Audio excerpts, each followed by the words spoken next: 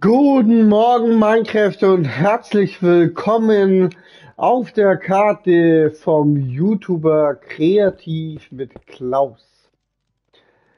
So, kurze Einstellung hier, Sekunde bitte.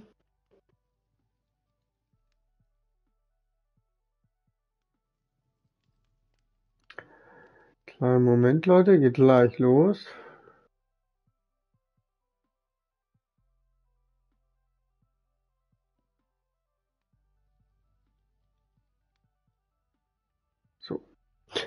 Genau, also heute, Leute, muss ich euch leider mitteilen, gibt es ein kleines Video. Ähm, es ist äh, leider so, dass ähm, ja, jemand, der mir sehr nahe steht, verstorben ist und ähm, ich heute noch auf eine Beerdigung fahre und ich muss, ähm, ja, muss also schon nach einer halben Stunde ungefähr Schluss machen hier, vielleicht dreiviertel Stunde, und mich auf die Socken machen und deswegen heute ein kleineres Stream. Ähm, bitte echt um euer Verständnis, aber das ja, ist einfach ganz schön heftig und ganz schön scheiße. So, aber trotzdem will ich euch nicht alleine lassen, sondern ich baue euch was Kleines und ähm, ich würde sagen, wir fangen einfach mal an. Ne? Wir überlegen uns jetzt, wie groß das Gebäude wird. Das wird eine kleine Schlosserei. Da machen wir hier so 1, 2, 3, 4, 5, 6, 7, 8. Ich will auf jeden Fall ein gerades Gebäude bauen. Ich will da eine ganz, ganz glatte Nummer draus ziehen. Schnell gebaute Nummer. 1, 2, 3, 4, 5, 6, 7, 8, 9, 10, 11.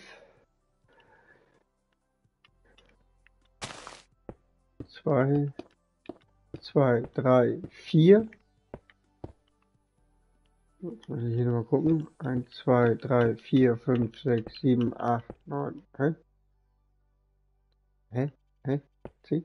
Ne? Hatte ich gerade gesagt? 8 habe ich gesagt. Ne? 2, 3, 4, 5, 6, 7, 8. Also wir machen hier so einen kleinen Kasten hin. Und dann hier in die Länge. Und finden hier den Abschluss. Das ist das Grundgebäude. Wir bauen eine kleine Schlosserei. Also jetzt kein gigantisch großes Gebäude. Ich will das halt auch schnell fertig haben. Ich mich umziehen kann. Also, so. Ähm, fangen wir erstmal an. Wir ziehen hier zu Holzbalken ein.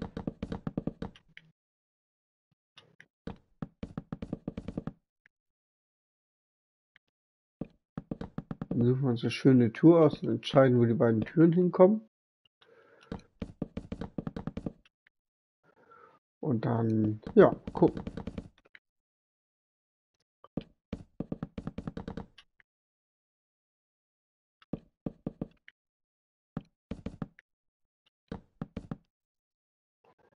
Ich will auf jeden Fall Steine benutzen, die hier auch schon überall eingeflossen sind, einfach weil es dann realistischer wirkt. Wir machen hier eine Tür hin. Und wir machen hier eine Tür hin. Machen wir nach innen. Das wären die beiden Eingänge. Dann brauchen wir so eine Art Vorgarten, möchte ich sagen. Moin, herzlich willkommen.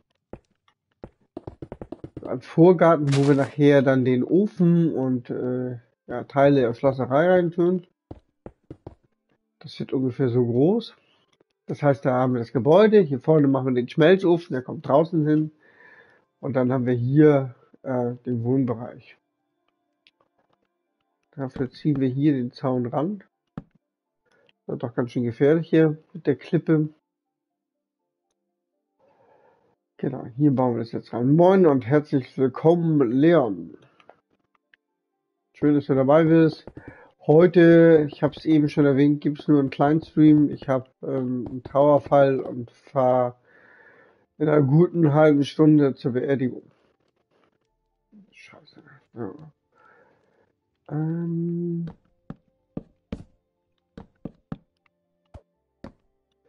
Wir wollen mal gucken, dass wir das Haus nicht zu eintönig bauen.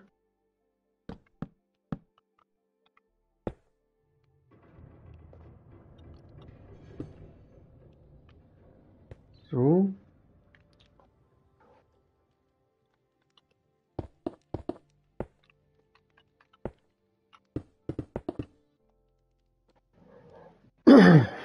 Mal gucken. Wir kriegen schon irgendwas hin. Wie das jetzt hier ganz genau wird, weiß ich noch nicht. Ich mache das so frei Schnauze.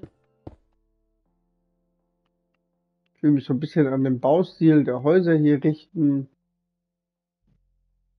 Von Oberbermont. Schon sehr cool hier alles. Ich habe mir auch vorgestellt, ein bisschen Holz mehr zu verwenden. Na, mal gucken, was wir hinkriegen hier. Okay, so. Eins, zwei frei, zwei frei. Hier machen wir eine Ecke hin. Zwei frei. Und zwei frei. Da kommen Fenster rein. Die planen wir jetzt schon mal hier. Und auf der Außenseite dürfen wir gar kein Fallfenster rein, weil da kommt ja der Schlosserofen hin. Super. Setzen wir hier, wo die Fenster hinkommen, setzen wir so eine kleine Kante rein.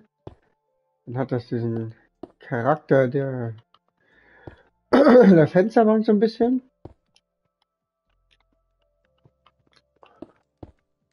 Und dann bauen wir jetzt schon die Fenster ein, dann kann ich das auch gleich nicht verfehlen.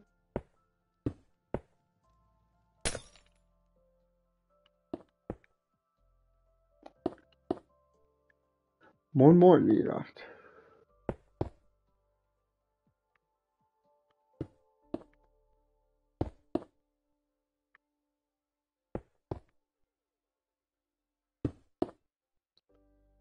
So, da sollen die Fenster hin.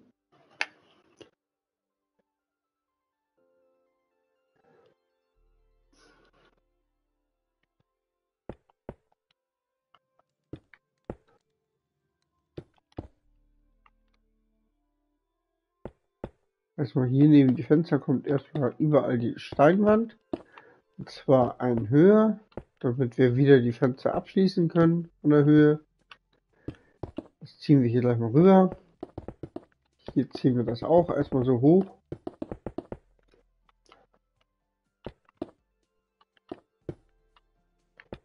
Hier können wir auch gleich dicht machen.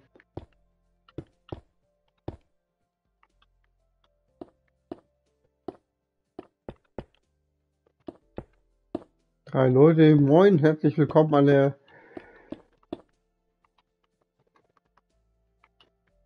Ja, ich habe ein bisschen früher angefangen, damit ihr ein bisschen Video habt. Wir bauen nur eine kleine Schlosserei. Und ich heute leider früher aufhören muss. Hier kommt, wie gesagt, der Schmelzofen hin, hatten wir eben schon erwähnt. Hier kommt nochmal ein Holz hin.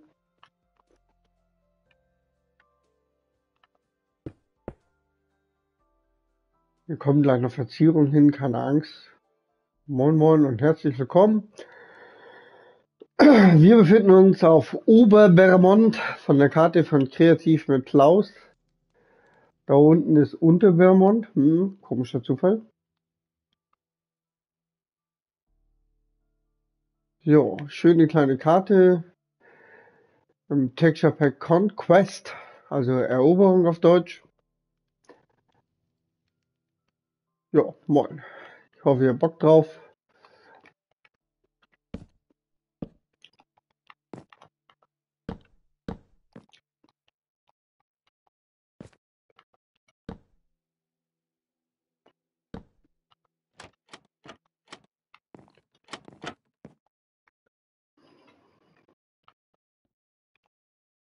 Ich will ein bisschen, ein bisschen unterschiedliche Materialien verwenden, wenn das irgendwie geht. Wird also hier auch gleich nochmal ähm,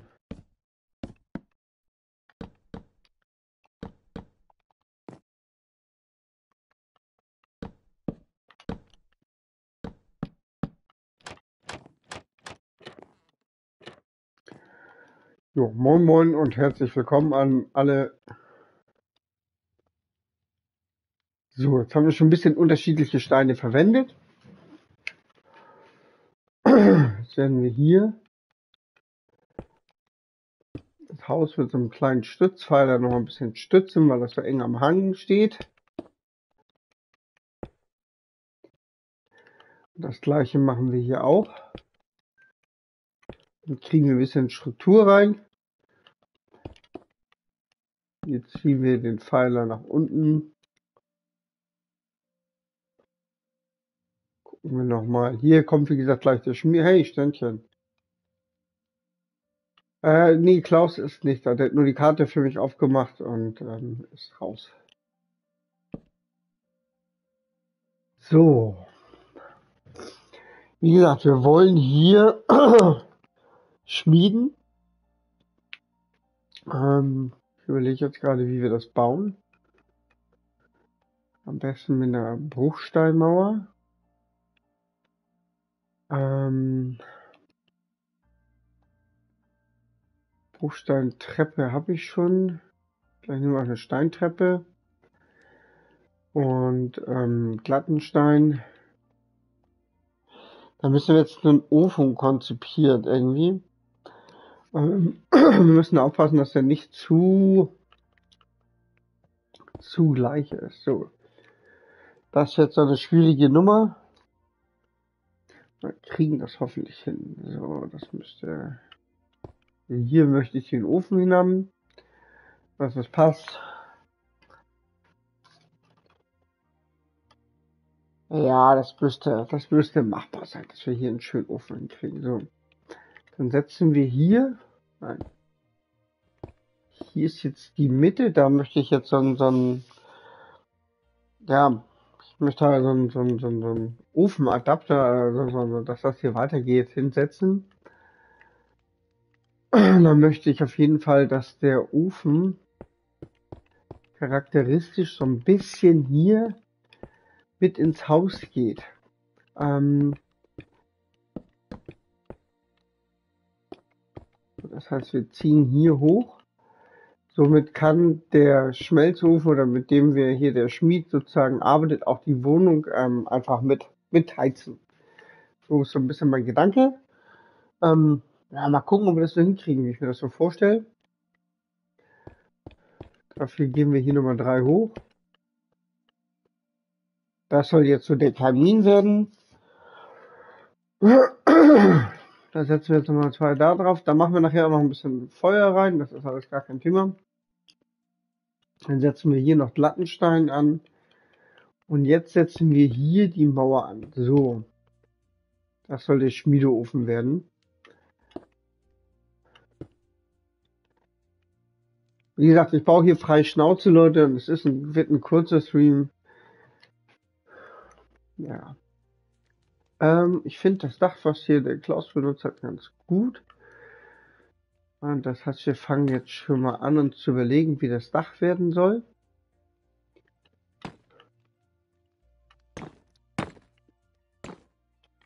Ähm, zack. Das wäre ja so schon mal eine ganz gute Form.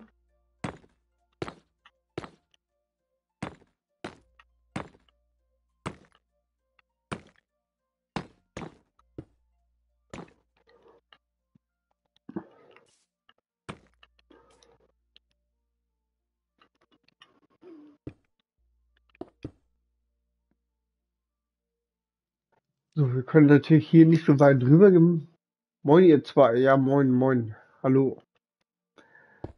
Wie gesagt, Klaus ist nicht da. Der äh, guckt zu. Der hat mir nur die Karte netterweise aufgemacht. Und wie gesagt, Leute, heute nur ein kleiner Stream. Bin dann morgen wieder ganz normal für euch da. Ich weiß noch nicht, was ich morgen mache. Aber ich werde auf jeden Fall morgen normalen 2-Stunden-Stream machen. Wie sonst auch. Nur heute wird es ungefähr eine halbe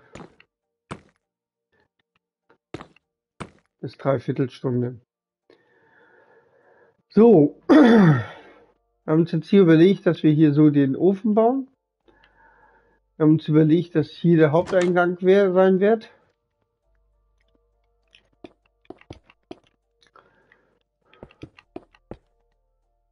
Dafür machen wir das hier so.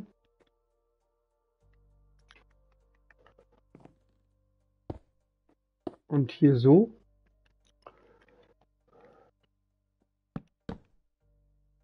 So, da kommt der Ofen rein. Das war schon mal ganz gut.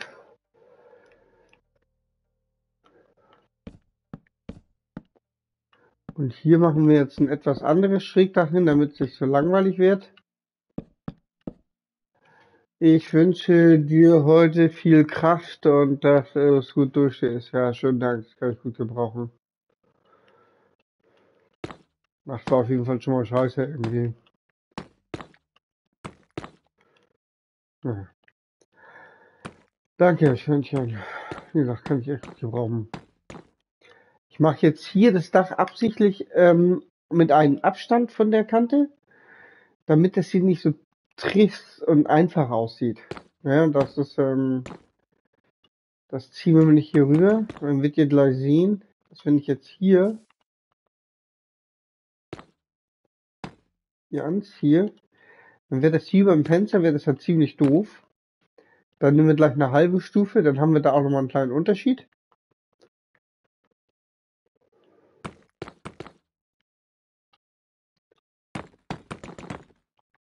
Und obwohl wir jetzt sozusagen einen Abstand haben und das hier vorne ein bisschen anders aussieht, werden wir im Endeffekt ähm, das Muster wieder hinbekommen.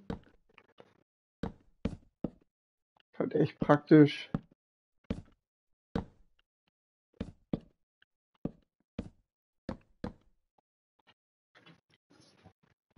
Dass das einfach mal so einfach geht.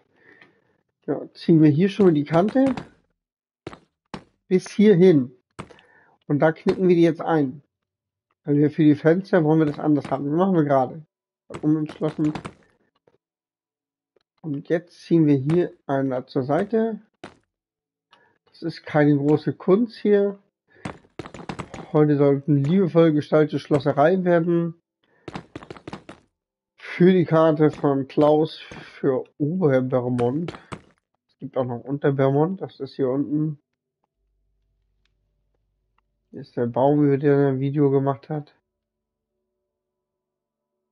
Ja, also schöne Stadt und das Texture Pack Conquest tut seinen Teil da hinzu. Das ist eigentlich ganz cool.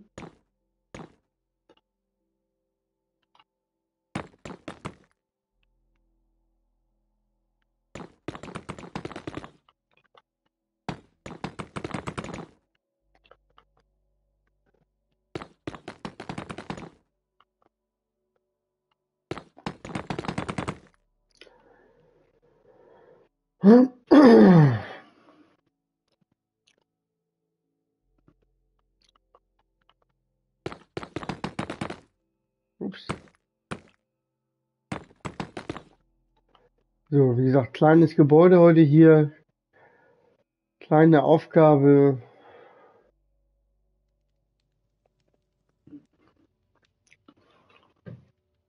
Wir machen hier einfach eine kleine Schlosserei die hier den Betrieb aufgenommen hat.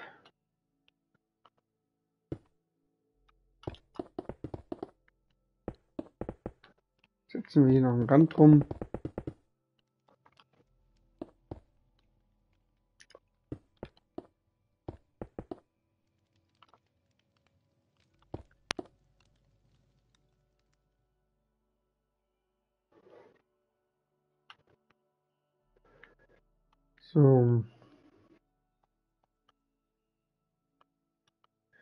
Wir setzen jetzt hier den Zaun, nein. Wir setzen jetzt hier gleich einen Zaun an, machen aber hier vorne noch so eine Stütze, wie wir es eben schon gemacht haben.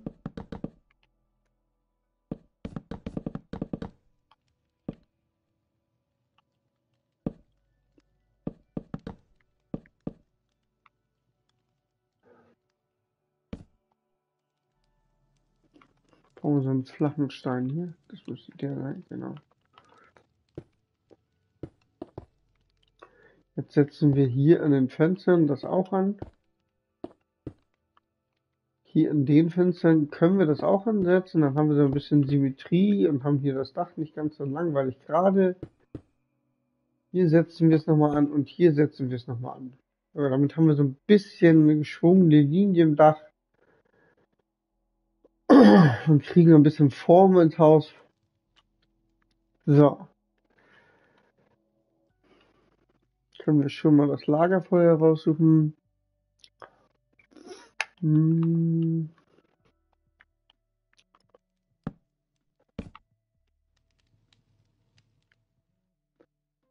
So, sehr schön.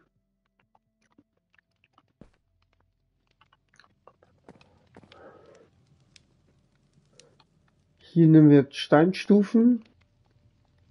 Glatte Steinstufen. Nein, Stufen habe ich gesagt. Und setzen die hier hin. Sag mal. Somit haben wir drin und draußen Feuer und das ist so Mittelalter-Style. Da wurden ja auch häufig ähm, das Vieh unterm Haus äh, äh, zum Schlafen hingestellt, damit sie durch die Decke, durch den Fußboden ähm, die Menschen oben im Winter wärmen. Ähm, das ist ja eigentlich eine ganz bekannte Geschichte. Und ähm, das machen wir uns hier einfach zunutze, indem der Schmied halt nur einen Ofen hat und nur ein Lagerfeuer befeuert und daraus sozusagen gleich ähm, ja alles sozusagen ja wärmt. Ach man, was soll denn das? Hier machen wir kein Fenster hin. Was wir auf jeden Fall machen können, ist einen zweiten Stock. Wir nehmen einfach die Balken, die wir haben, ziehen wir die zusammen. Und dann kann man hier vielleicht ein kleines Schlafwerk oder sowas hin tun. Dafür nehmen wir jetzt, damit das ein bisschen hübsch aussieht, nehmen wir einmal ein schönes Holz, zum Beispiel das hier. Und eine Holzstufe in der gleichen Farbe. Und dann machen wir hier so ein Deckenmuster rein, damit das so ein bisschen Atmosphäre kriegt. Hier wird jetzt, also hier kann ich ja kein Muster reinmachen, weil das da ist, ja klar, logisch. Die, so.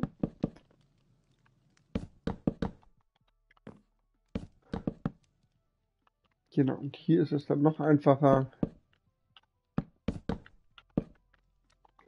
Ziehen wir so zusammen. Ups.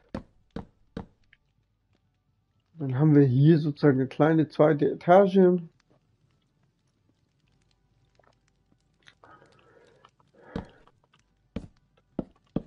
Dann machen wir jetzt auch kein Kunststück draus. Kommt hier eine kleine Treppe hin. Ja, das war ja falsch gedacht, glaube ich. Wir kommen hier an den links nicht vorbei, ne? Ja, da habe ich falsch gedacht. Ja, Mist.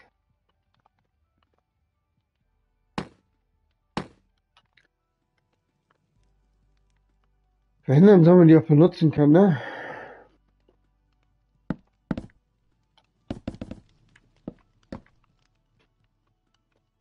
Wir gehen einfach hier ein Stückchen rein und somit umgehen wir das und haben auch noch zusätzlich unten ein bisschen mehr Platz. Win-Win-Situation. Situation. Genau, jetzt können wir hier hochziehen. Muss wir das muss man jetzt aber gehen der stört. Okay, da kümmere ich mich gleich drum. Dann nehmen wir uns den Balken hier, machen daraus hier so einen Abschluss. Gucken wir uns nochmal draußen an, wie wir diese kleine Lücke schließen. Da habe ich aber schon eine ziemlich konkrete Idee. Mit dem Stein hier, das sieht kein Mensch. Zack. Super gelöst. Und jetzt hoffe ich, dass das funktioniert.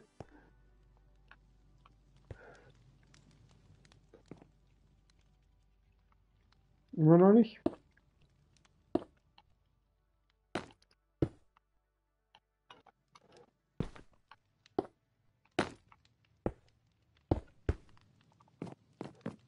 So. Jetzt kann man hier hin. Runterfallen kann man auch nicht. Sehr schön. gucken wir uns das Ganze nochmal von draußen an, ob das so akzeptabel ist oder ob ich mir jetzt doch noch was anderes verlassen muss. Nö, finde ich okay. Dann ziehen wir jetzt die Dachstreben hier noch ein weiter raus. Das machen wir, weil wir den Dachgiebel noch ein bisschen verzieren wollen. Ich zeige euch gleich wie. Das gleiche machen wir hier.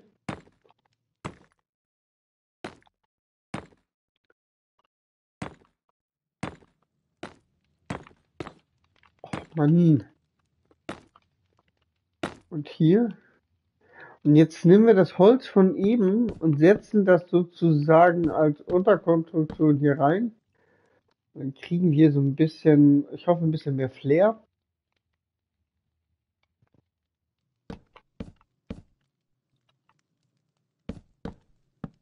Ups.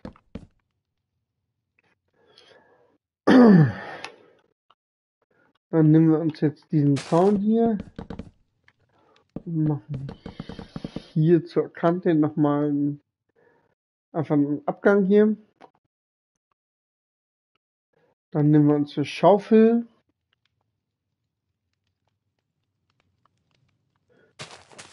Äh, nein. Habe ich die Schaufel jetzt weggemacht? Ja, egal.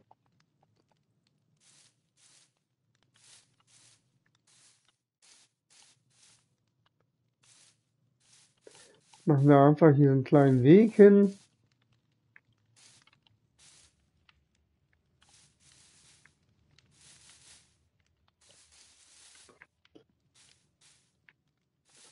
Der darf hier auch gerne so ein bisschen um die Ecke gehen. So, jetzt haben wir da diesen Weg. Was sich mir noch nicht ganz entschließt, ist der Boden hier. Warum der so komisch aussieht. Machen wir einmal weg. Passt nicht ins Gesamtbild, finde ich.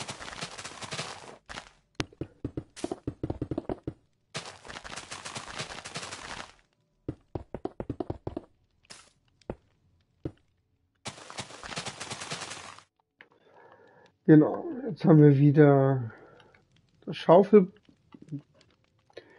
das Schaufelproblem und nicht das Achs. So, zack.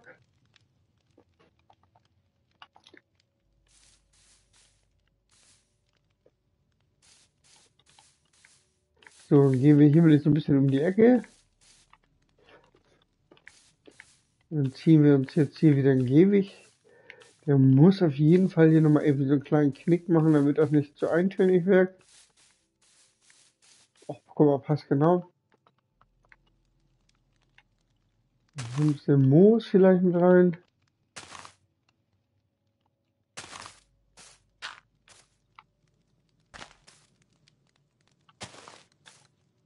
Dann nehmen wir ein paar Druckknöpfe jetzt. Das sind aber so kleine Steinchen, die so am Wegesrand sind. Ne? Ich finde sowas immer ganz schick. Aber um diese Atmosphäre aufzusammeln von diesem, dass das hier einfach eine ne, mittelalterliche kleine Schlosserei ist. Machen wir ein paar Büsche hin. Und dann fangen wir an, gleich zu dekorieren.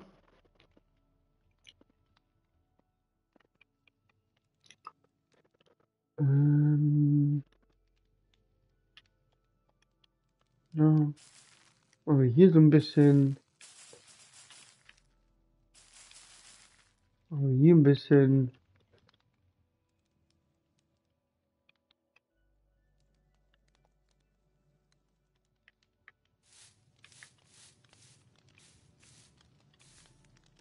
So, seht ihr, jetzt haben wir hier so die Wege. Aber hier von dem Garten der Weg, der hier ranführt. Einmal hier den Weg zu dieser offenen Schlosserei und einmal der Weg ins Haus. So. Das finde ich soweit schon ganz okay. Jetzt haben wir noch ein bisschen wenig Flair, finde ich. Ich finde, da fehlt noch so ein bisschen, da fehlt noch was. Und das müssen wir einfach noch bauen. Ja, ist einfach so. Dafür nehme ich jetzt nochmal das Knochenmehl. Dafür nehme ich Ranken. Dafür nehme ich einfach mal einen Baum. Jetzt stehen wir hier weg, machen wir hier einen Baum hin.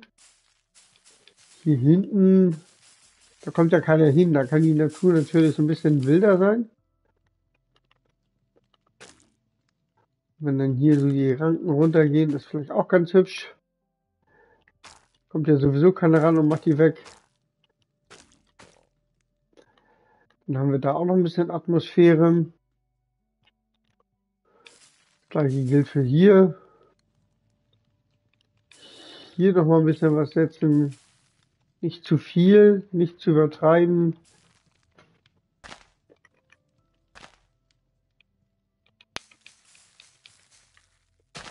Und hier noch ein bisschen Platz machen für den Baum. Ah ja. So, jetzt haben wir schon ein bisschen mehr Atmosphäre. Jetzt gehen wir rein. Ähm, ne, vorher machen wir noch eine schwarze Tür. Genau, hier können wir reingehen. Hier müssen wir gleich die Schmiede gestalten, ne? Und hier müssen wir jetzt erstmal den Raum gestalten. Hm. Das soll nicht zu überkandidelt wirken. Das soll eher so ein bisschen schlicht rüberkommen. Ein bisschen einfach.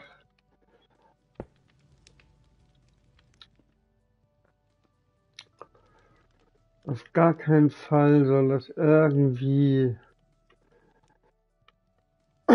zu, weiß ich nicht, wirken. So, ähm, wir nehmen jetzt hier ein machen hier jetzt eine Sitzecke, wo die Familie so zusammensitzt zum Essen, zum Abends, oder keine Ahnung. Machen hier noch einen Stuhl hin. Hier noch ein, hier noch ein, hier noch ein. Dann brauchen wir natürlich einen Tisch dafür, ist ja logisch. Dann haben wir auch ein rotes Bein. Ich finde, das setzt sich gut ab von dem anderen Holz. Dann brauchen wir einen Bindfaden. Dann brauchen wir einen Teppich. Dann haben wir auch was Einfaches, wirklich einfache Menschen, die hier wohnen, eine Schlosserei betätigen, ne? So ganz simpel.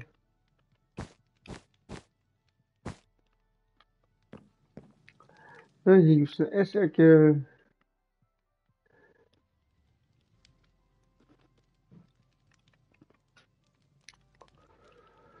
Hm.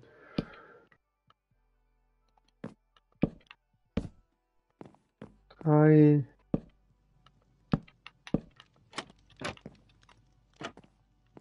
Vor dem Fenster steht einfach ein Regal. Das finde ich aber auch nicht schlimm. Im Gegenteil. Macht einfach mal ein bisschen andere Atmosphäre, als man sonst so hat. Dann kann man nämlich auch was draufstellen. Da stellen wir mal eine Kiste drauf. Da haben wir ein Fass.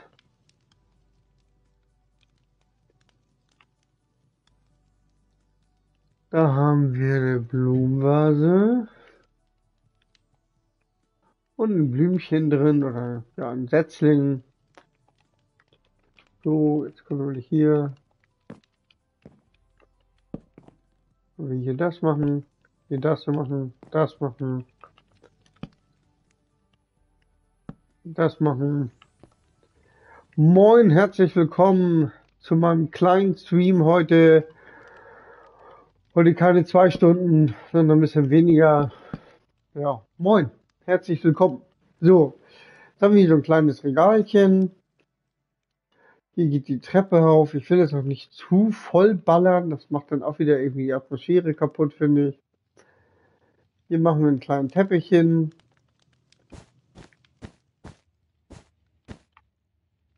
Und dann haben wir hier unten eigentlich auch schon alles, was wir brauchen. Da überlege ich mir gleich noch was. Da bauen wir auf jeden Fall noch was hin. So, dann kommen wir zum Schlafzimmer. Dafür brauchen wir ein Bücherregal, eine Holztruhe, eine Lampe und wie Katz gedacht, ein Bettchen. So, Bettchen kommt genau hier hin. Ein Fass hier hin.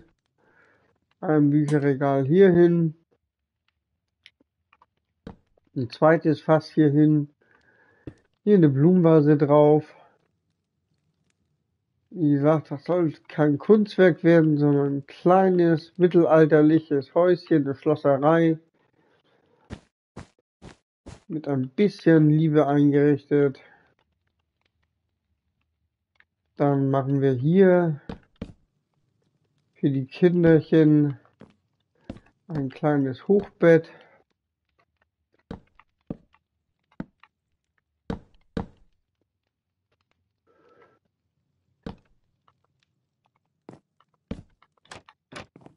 damit die Kinder nicht rausfallen. Kommt eine kleine Leiter ran. Ups. Wir finden hier das Rad nicht neu, sondern wir versuchen einfach nur, das so ein bisschen hübsch zu gestalten.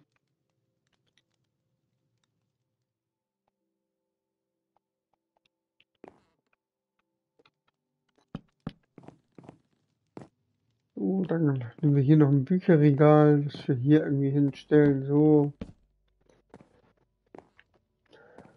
Dann nehmen wir jetzt noch einen hellen Teppich. Setzen den hier auf die Steine. Und da ein bisschen mehr Atmosphäre. Hier kommt noch mal eine Kiste rein. So. Das heißt, wir haben hier, können die beiden Kiddies pennen, die hier vom Schlosser erleben. Dann haben wir ein Bücherregal, wir haben ein Bett. So, jetzt haben wir schon mal ein bisschen, was haben wir schon mal? Jetzt gönnen wir uns noch ein, machen wir erstmal hier leer. Jetzt holen wir uns noch mal ein bisschen Material ran hier. Was brauchen wir denn noch? Wir brauchen auf jeden Fall das hier. Wir brauchen das hier. Wir brauchen unbedingt noch das letzte Bett in der Reihe. Dann brauchen wir Schilder. Und zwar diese hier. Dann brauchen wir Falltüren und zwar diese hier. Ja, ich muss mal gucken, wie ich heute Abend drauf bin, aber ich denke schon. Ich denke aber, dass ich vor acht nicht zu Hause bin. So, dann haben wir hier so einen kleinen Wasserkrug, wo sie sich waschen können und dann wären wir hier drin auch schon fertig.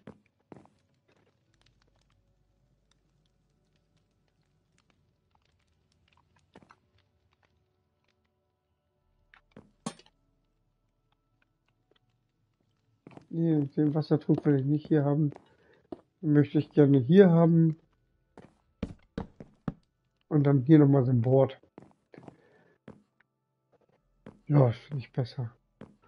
Und hier machen wir auch nochmal eine Klappe vor, dann hat das so ein bisschen... Ja. So, dann wären wir hier fertig. Wir müssen auch zum Ende kommen. Ich muss mich gleich fertig machen. Und dann müssen wir jetzt die Schlosserei noch gestalten.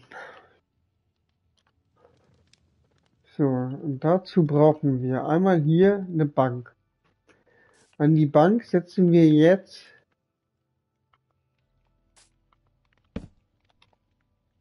zwei Holzbretter.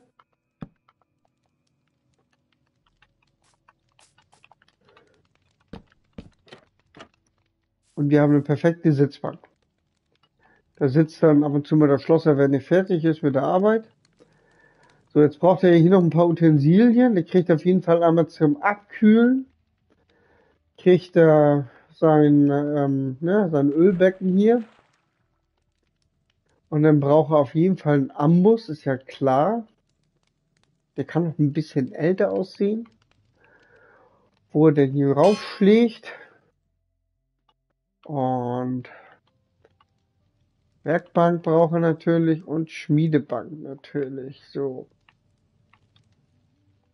Schmiedebank, Werkbank, kriegt hier so ein bisschen Utensilien, mit denen man hier arbeiten kann draußen. Und möchte ich auch, dass hier so ein bisschen Steine unterschiedlich aussehen. Da werden wir jetzt noch ein paar verschiedene hinsetzen. gucken, was wir hier noch im Petto haben. Die habe ich ja schon benutzt.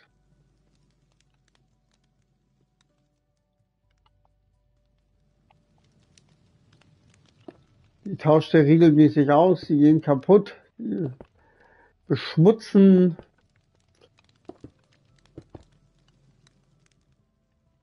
So. Jetzt nehmen wir uns nochmal zwei Lagerfeuer. Ähm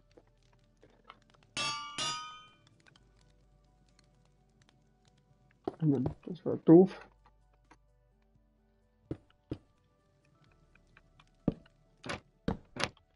Jetzt machen wir einen rauchenden Kamin, indem wir die Holzbretter drum setzen. Und dann die Lagerfeuer hier reinsetzen, dann qualmt das oben auch schön raus. Ist die Atmosphäre noch ein bisschen besser.